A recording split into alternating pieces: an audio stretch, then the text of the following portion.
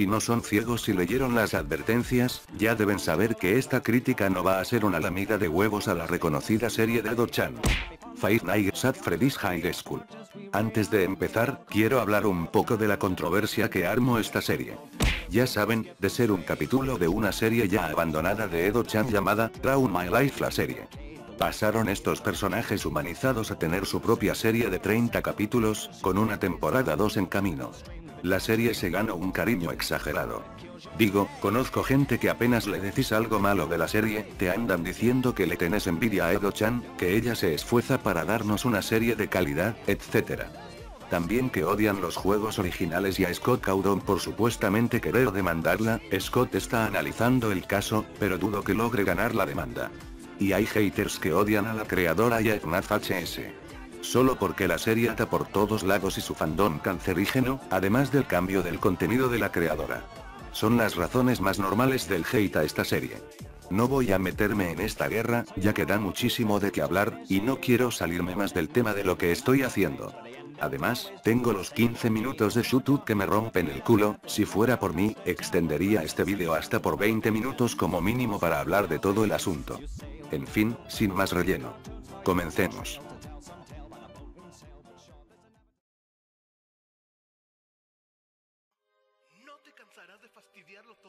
Animación. Bien, quiero dar la menor cantidad de argumentos repetidos posibles, pero es que aquí, sí que hay defectos medio obvios. La calidad de animación fue decayendo mientras avanzó la serie.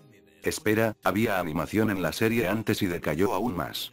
No era exactamente 100% animada, pero había unas partes de los primeros cuatro capítulos que estaban bien animadas.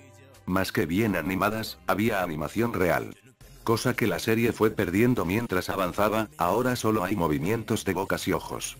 Eso es lo más decepcionante, que antes tenía una que otra animación medio profesional, pero decayó solo para subir más capítulos seguidos, y eso le da menos puntos aún.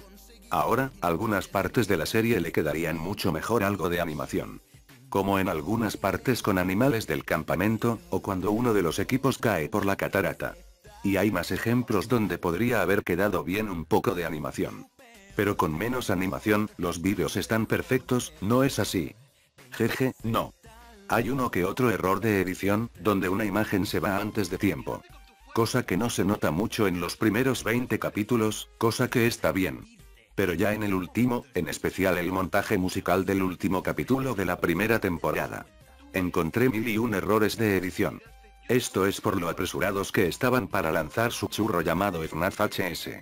¿Qué tan grave es tener errores de edición aquí? Mucho, ya que para lo simple de la serie, tener errores así, en especial cuando la vas a acabar, es muy trucho. En fin, concluimos que la animación es mala, pero cuando hay animación, es realmente disfrutable. Tendrían que tener en cuenta eso para la temporada 2, con un poco de animación más ocasionalmente, estaría muchísimo mejor esta madre. Le doy un punto negativo. Personajes. Bien, aquí tengo varias cosas que decir. Tiene varios tipos malos de personajes. Primero, personajes innecesarios. Pongamos a los cuatro principales de Sister Location. Ávila Fujoshi, Lily la inteligente que solo usa el cerebro para resolver todo, Fede y Félix los gays estereotipados a niveles exagerados. Estos fueron metidos aprovechando a Sister Location, porque dudo que Edo-chan los haya metido porque los tenía planeados, ya que la serie empezó en enero de 2016, ni siquiera FNAF World se había lanzado. Edo-chan ni siquiera sabía el rumbo que tomaba la serie en ese entonces, pero creo que era mejor meterlos para la temporada 2 ya que los capítulos donde explican su origen para no meterlos tan forzadamente fueron en el 28 y 29, cabe destacar que el tren es el último de la temporada 2. Así que pudieron haber usado el 29 como mínimo para hacer esperarnos el clímax del 30 para no hacerlo tan forzado como acabó siendo, en vez de meter historia de pasado. Por favor, estamos por terminar, y nos ponen historias de personajes que aparecieron hace menos de 5 capítulos, es bueno desarrollar las historias de los nuevos personajes, pero no enfocarnos en ellos en los últimos 3 por favor. Encima que no hacen nada en el capítulo 30. Me salí de tema, pero en fin. Hablemos de la villana. En serio, esta apareció en un capítulo o dos. Controla a Golden y de la nada frena a todas las personas. O sea, que wea bro. No se nos desarrolla nada de ella y ya jode todo, Dios, eso sí es un villano de verdad. Mentira, no hace nada, solo Edo quería dar un final pseudo épico para la serie. También hay personajes que pudieron haber dado más, pero que no brillaron mucho como Springtrap, que tiene una interesante historia para contar, pero aparece muy poco porque no va a la escuela, también los Nightmare, que aunque sean Nightmare Freddy y Maggie, daban para más, los otros dos, B, no dan como personajes. Hay algunos que están desarrollados decentemente. Como Bonnie y su relación con Bonnie, que sí, es solo para hacer un chiste recurrente, pero bueno, aunque sea hay desarrollo. Solo me quejo del cambio brutal de Bon, de ser un tipo medio rudo, se convirtió en un estúpido que se actúa así cuando está Bonnie, sé que es por sus sentimientos, pero bueno, actuar como pelotudo por eso, Nell, este no sabe fingir. También Foxy, que es un personaje que está bien desarrollado, tanto el pasado, como el presente. Pueden mejorarlo un poco, pero es el mejor personaje que tienen hasta ahora, junto a Golden, que bueno, de Foxy no me quejo. Freddy, oh Freddy, tengo problemas contigo. Es el personaje principal con menos desarrollo.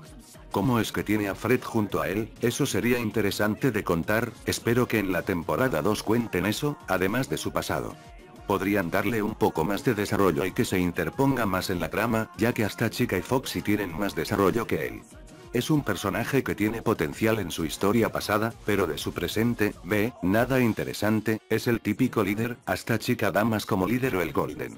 Bueno, chica, está decente, no me quejo de ella. También hay personajes completamente originales. Como Town Trap.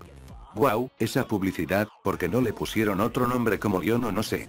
También tenemos un lobo, que es un secuaz de un villano, que bueno, no se desarrolló mucho en la temporada 1 de él y su jefe, pero parece medio interesante lo que va a pasar. Bien, en conclusión. Edo-chan debería desarrollar más a los personajes que tiene en el inmenso cast que tiene. Aunque sabemos que van a meter a los Phantoms, a Enardo a algún easter egg. Pero bueno, ojalá Edo haga más equilibrio con el desarrollo y que sepa administrar más los episodios para los personajes, pero en fin. También hay buenos personajes, como Foxy, Trap, Mangle o los dos conejos Ukes. Pero bueno, hay muchos más personajes con potencial desperdiciados, y hay otros que son basura para comedia. Le doy un punto medio. Apartado técnico. Vamos a hablar cómo fue evolucionando o decayendo la serie en calidad. Vamos por las cosas buenas primero. La calidad de trazos mejoró drásticamente desde el capítulo 1. Solo miren la diferencia del Freddy del capítulo 1 y la del capítulo 30. O la calidad de coloreado de los fondos, con los más actuales.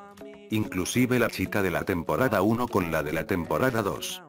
Así que en trazos y coloreado la serie fue evolucionando, siendo de ser una serie a las carreras, a una serie con un elaborado diseño.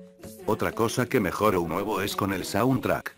Por ejemplo, los covers que hacen actualmente, son algunos bastante buenos, como el de I Stronger Than You, o el de Gravity Falls.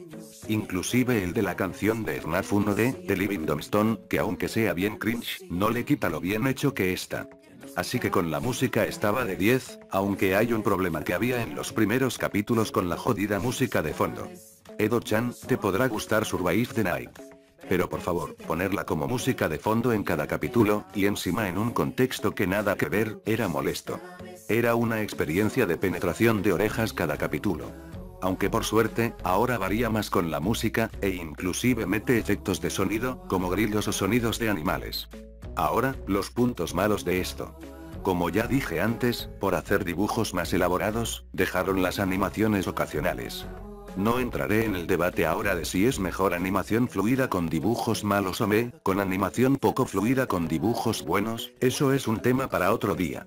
Lo cierto es que la calidad de animación cayó a cero gracias a la mejoría de calidad en los trazos, solo quedan esas bocas y los ojos.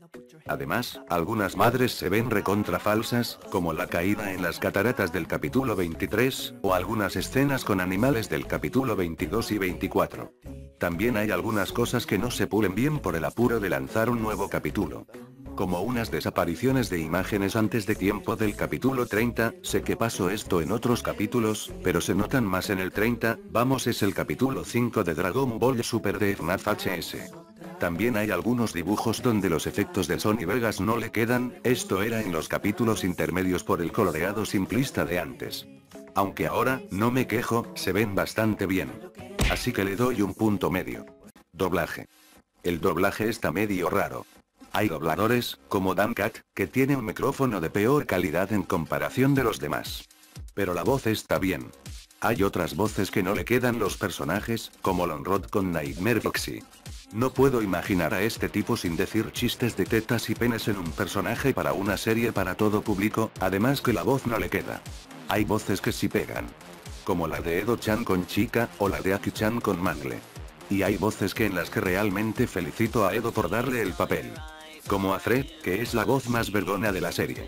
Me da un orgasmo en el sentido asexual de la palabra cada vez que escucho a este men.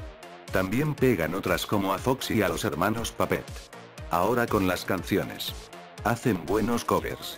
Hay algunos no tan buenos cantando como Desaster cuando es Bonnie o Golden, que sinceramente no es tan bueno, o también Lily, mátenme todo lo que quieran, pero el cover que hizo de señora cara de papa, no le pega a la voz. En conclusión, Edo eligió un muy buen cast para la serie. Claro, hay unos mejores que otros, pero el cast es de fruta madre en casi todas las voces. Así que le doy un punto positivo. Historia. Bueno, la historia es algo rara de cómo sigue. Digo, la base era una batalla de bandas con trama de anime escolar. Pero los fans eligen que pasara, y Edo-chan lo desarrolla. Cosa que es mala, porque Edo no tiene control de su monstruo. A ver, que la idea es buena, pero tienes fans de 12 años para abajo en la mayoría de los casos, siempre van a elegir las que tienen más salseo para andar diciendo, wow men eso estuvo de pelos. O van a elegir las opciones más aburridas o la de los personajes que ya tienen de sobra desarrollo, en vez de los que tienen menos. Casi todas las mierdas cáncer y mal llevadas están elegidas por los fans. Como el chip forzado de Bon X Bonnie, o el campamento. Pero bueno, Edo nunca tuvo la historia bien definida.